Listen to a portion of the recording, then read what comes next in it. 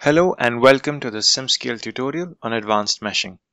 This is a continuation of our previous tutorial on meshing where we'd explained what a mesh is, why it's important to generate a good quality mesh, and how you can do that on SimScale.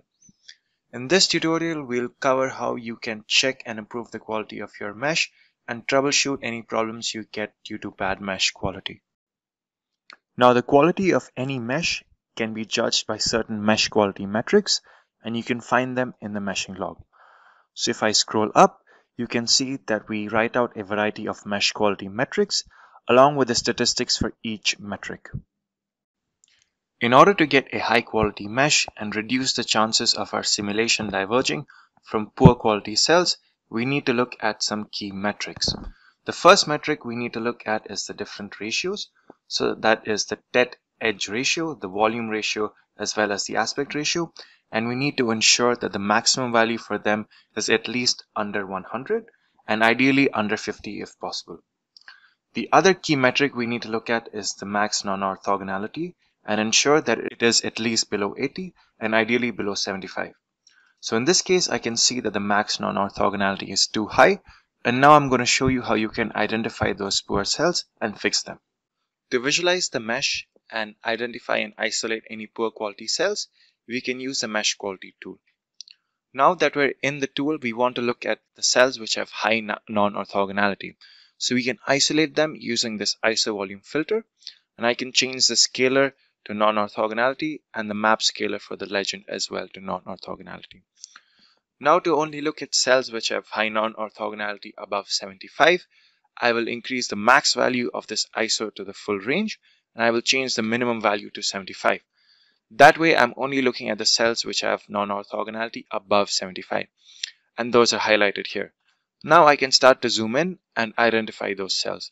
So I can straight away see that these cells mostly occur at sharp edges such as this one where these two surfaces converge towards a point and lead to poor quality cells at the tip. Next we look at how we can mitigate this issue and prevent these cells from occurring. The first and best way to solve this issue is to address it in your CAD platform.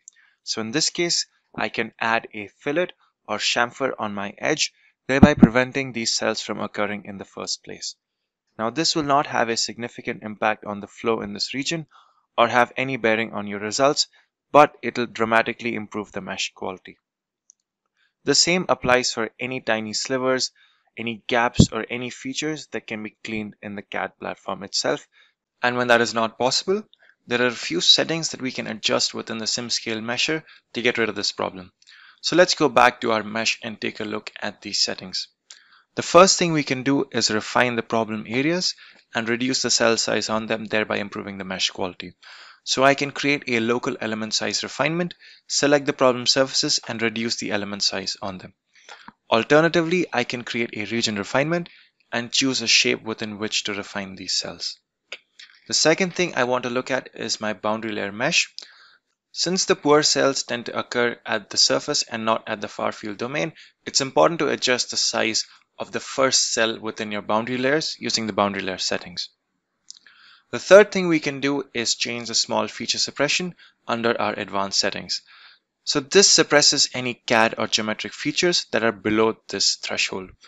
In our case, we can increase it to prevent the mesher from meshing those tiny slivers so I can increase this tolerance level. Now let's take a look at another mesh where I've done precisely that. So in this mesh, I have increased my small feature suppression tolerance and I've also added a local refinement around those problem surfaces. And now if I look at my meshing log and look at the max non-orthogonality, I can see that it's below 75 and I'm happy with that. This was just a quick overview of some of the advanced mesh settings within SimScale and the workflow you can use to identify and fix any bad cells. Thank you for listening.